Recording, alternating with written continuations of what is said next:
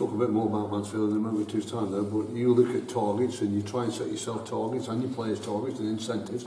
There's an incentive if you can get three points and get over the, over the white line around about quarter to ten Tuesday night, is you could be in the top half of the table.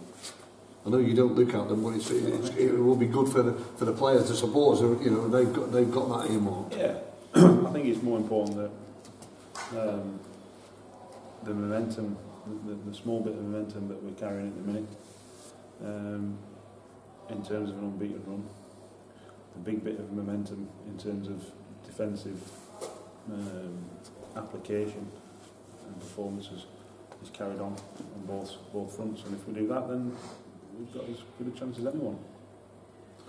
Talk more Mansfield then. An interesting set of figures they've got uh, uh, at the moment. 14 games played, one defeat, but includes nine draws Yeah. already. But uh, I think it does tell you what they're, what they're made of. Well, they're- I think they're a bit similar to ourselves in the sense that I think they scored 18 and conceded 10. I think they've got them and MK Dons have got the best defensive record in the league, so you can see what you know the manager's tried to do there.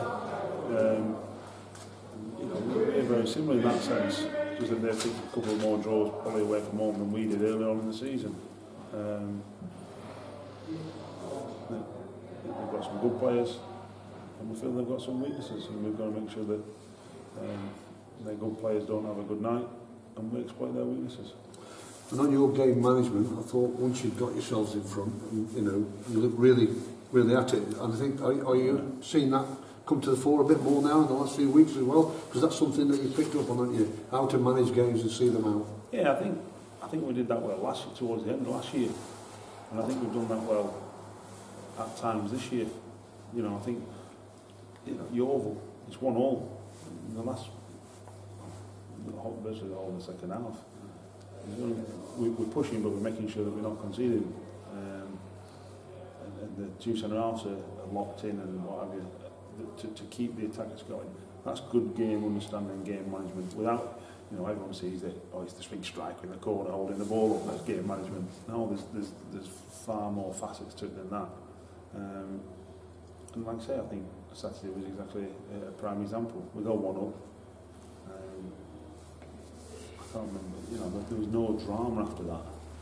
It was just, it was just a, a consummate professional performance. Yes, there's a few area bits before that, of, of all our own making, where Ben's saved the day and he deserves all the credit that came his way. Um, but once we ironed out them, them few mistakes at half time and, and got the players to understand how to be a bit more, well, a lot more effective. I think in the second half, we had one chance where Ben's tipped it around the post, but again from our own mistake. Um, and I think that was, like I from 75 minutes onwards, 65 minutes onwards, I think it was comfortable, I do. Um, but then goals change games, and that's what happened.